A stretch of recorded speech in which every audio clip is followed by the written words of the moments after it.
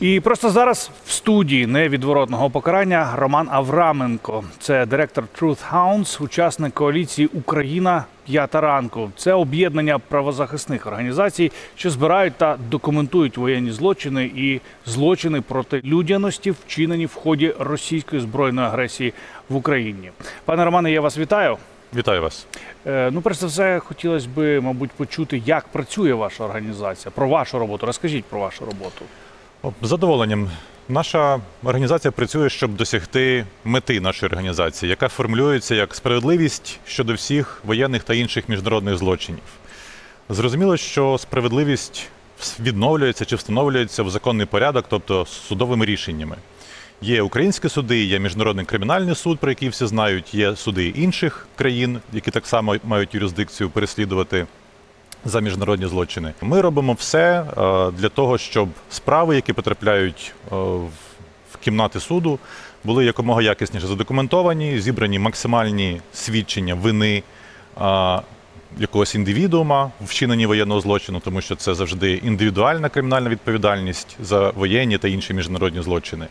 По-друге, щоб всі були, щоб ця позиція була дуже добре аргументована. Ну і по-третє, для того, щоб щоб не можна було цю справу, скажімо, розбити у суді, щоб рішення, яке було винесено, воно було справедливим.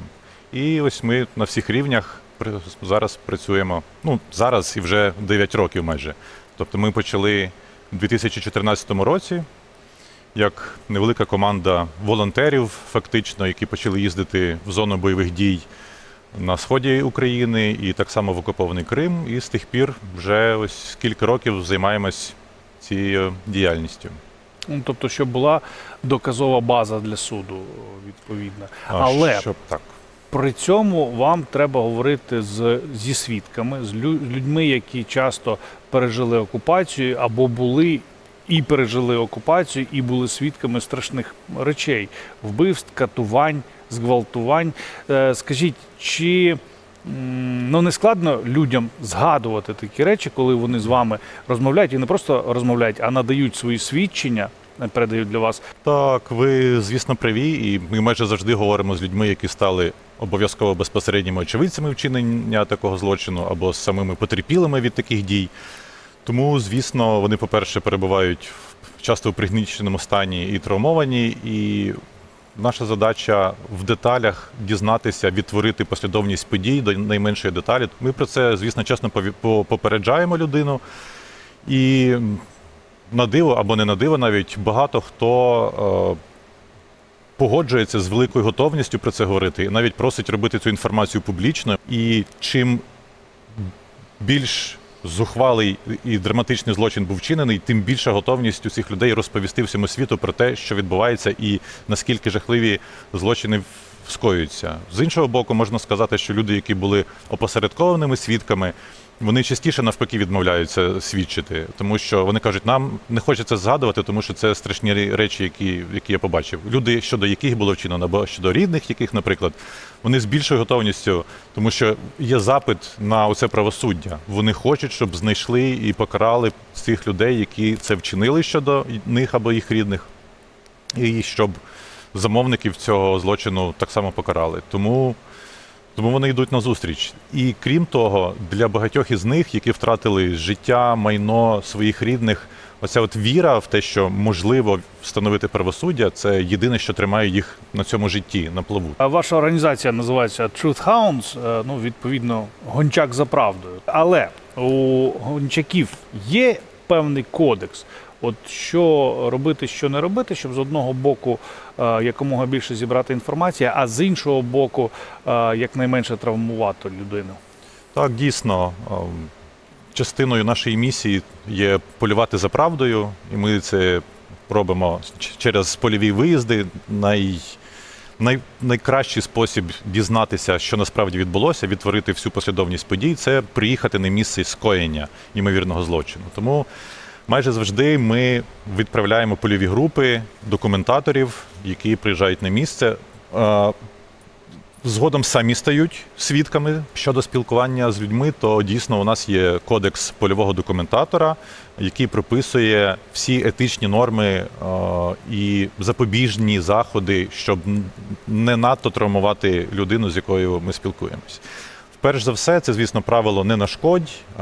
Тримай в голові, що ти маєш зібрати всю необхідну інформацію, всі факти від, від, відтворити про те, що відбулося, але разом з тим поставитись до людини і. Це має відбутися в емпатичний спосіб. І через розуміння, через цю емпатію не відбувається не те, що додаткової травматизації, а часто люди нам говорять, що навпаки ця розмова мала терапевтичний ефект. Їм стало краще, їм стало спокійніше і легше після того, як вони поговорили з документаторами. Це одна з головних вимог до документаторів професіоналізм і емпатія. Ми у нас дуже жорсткий відбір саме по, по, цих якостях. У кого немає у цього здатності відчувати, розуміти, що відчуває людина, він не стає документатором нашої організації, тому що наша задача ощадливо ставитись до людей, з якими ми говоримо. І крім того, можу зазначити, що, наприклад, не завжди потерпілий. Потерпіла особа від воєнного злочину є найціннішим джерелом інформації. Дуже часто свідок потерпілий не може надати до ніякої інформації. Я заснув себе вдома, прикинувся в лікарні, мені відтяли ногу, або прикинувся в темряві, завалений купою осколків, або мені постукали в двері, я відкрив двері, мені на, на, надягли мішок на голову. І після того мене били, катували тиждень, викинули на пустирі, тільки тоді я зміг зняти мішок з голови. Тому наш підхід такий, щоб подумати, хто міг бути очевидцем і кого можна опитати, не наражаючи на ось цю додаткову травматизацію від спогадів цих подій. Скажіть, а вам, як документаторам, про що говорити найскладніше? Е, Це все індивідуально насправді, що стане твоїм тригером. Наприклад, е, у мене А вам особисто? у мене у мене троє дітей, дівчат, і мені складно документувати злочини проти, проти дітей, проти, про- проти малолітніх. Мене це тригерить, мені складно тримати себе в руках, а це треба вести тему розмови, треба розуміти, чи свідок розповідає факти, чи своє, свою інтерп- інтерпретацію фактів, чи він просто вірить в те, що він говорить, а не говорить фактами. Тому е, тут треба бути дуже зосередженим, сконцентрованим. І я би радше волів не документувати і стараюся уникати. І в нас виходить така спеціалізація серед документаторів для людей, з якими ми говоримо, так само може бути е, тригером що завгодно. У нас, наприклад, була історія. е, На півдні Донецької області, це 2019 рік, зараз це окуповані території. Ми робили два поспіль інтерв'ю. Один потерпілий втратив під час обстрілу ногу, а інша потерпіла під час того ж обстрілу втратила майно своє, холодильники, вона була бізнесменкою. І от цей чоловік, який втратив ногу, він набагато більш збережений, набагато менш травмований, розповів про свій досвід і. Ну, видно було, що йому нормально, він нормально проживає цю травму. Інша людина розповідає про розбиті холодильники, що втрачено частину бізнесу. Вона була дуже сильно емоційна. Вона виходила курити і прям не могла завершити інтерв'ю, розповідаючи про те, як вона втратила ось майно, просто здавалось би. А розкажіть історію, яка особисто вас вразила найбільше. Ця історія не буде показовою, скажімо. Або не буде якоюсь страшною. Моя історія з нинішнього досвіду це а, село Піски Чернігівської області після деокупації. Там є а, садиба музей Павла Тичини, його твори, його погруддя. І в цьому ж селі є монумент е, жертвам нацистських репресій. 800 людей в 1942 році було розстріляно після того, як село окупували е, нацистські війська. Вони за співпрацю з партизанами живцем спалили 400 людей в церкві і розстріляли всіх інших по селу. На, на, на щоб увіковічнити пам'ять цих невинних жертв нацистського терору. Поставили пам'ятник, коли прийшли росіяни в це саме село, приїхали на своїх БТРах. Вони спочатку спробували зламати садибу музей Павла Тичини.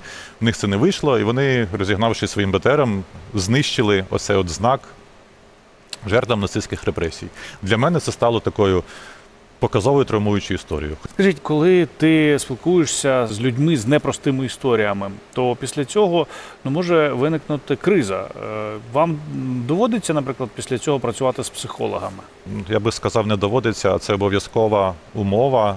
І якщо документатор не працює з психотерапевтом чи психологом, його не пускають в польові місії. А всі дуже хочуть їхати в польові місії, попри те, що це складний досвід, це багато небезпеки і безпосередньо фізичної, і постійно перебування в напрузі, відповідальності за себе, за групу і багато дуже роботи. Попри те, це дає оцей ресурс, коли ти спілкуєшся з людьми. е, Заради яких ти існуєш, заради яких існує організація наша, ти бачиш ось цих людей, заради яких ти робиш свою роботу. То це дуже надихає. Але, звісно, потрібні і проводяться інформаційні дебрифінги з один на один. Інформаційні дебрифінги, Е, є програма допомоги з роботи з психологами, психотерапевтами. І наші документатори, звісно, мають зберігати е, здатність працювати впродовж багатьох років. А чи є статистика, скільки ви вже задокументованих доказів передали е, в допомогу слідчим, які будуть використані далі в судах? За останні півроку у нас 70 нових ідентифікованих підозрюваних, які ми передали слідчим правоохоронним органам, 40 е, інцидентів, які, на нашу думку, мають ознаки воєнних злочинів. Так само передали повністю тексти всіх наших розслідувань. Ну, крім того, у нас постійно відбувається робота по навчанню, допомозі слідчих в першу чергу. Так само допомагаємо оцінити з точки зору правил ведення війни міжнародного гуманітарного права, чи цей інцидент був воєнним злочином, чи він не був воєнним злочином. І третє це допомога з розслідуванням. Точково ідентифікувати якийсь підрозділ, знайти на якому аерод- аеродромі базувався бомбардувальник, який бомбив Харків, знайти командира батальйону, який обстрілював Чернігів і так далі. А крім того, часто ви знаєте, що от люди не йдуть до слідчих правоохоронних органів, недостатньо довіряють або що. Тому і часто вони йдуть до нас, до правозахисників, до Трусхаунс або до інших організацій неурядових, які займаються документуванням. І ми професійно, емпатично документуємо ці е, свідчення для того, щоб вони потім не повторювали це саме слідчому. Наприклад, потерпілих від сексуального насильства, вони особливо вразливі, тому ми завжди на такі розмови, по-перше, проходимо спеціальні тренінги. У нас є виокремлені документатори, які можуть працювати з цією темою. Плюс завжди є психолог, на таких розмовах. І третє, ось скоро будуть спеціально е, обладнані захищені кімнати для того, щоб проводити там інтерв'ю, оскільки часто е, саме насильство ставалося вдома в потерпілих. І розповідати про цей свій досвід прямо в цих же стінах ну дуже травматично. І тому, якщо хтось став ви свідком чи потерпілим від воєнних злочинів і не, не має бажання звертатися в суди прокуратуру, можна звернутися до Трусхаунс або до інших організацій, які зроблять професійно, ощадливо, а, не травматично і навпаки допоможуть почати справлятися з цією, з цією травмою, бо вона сама по собі не розсосеться. Я вам вдячний за це інтерв'ю і за такі роз'яснення щодо вашої роботи. Ну а ми продовжуємо.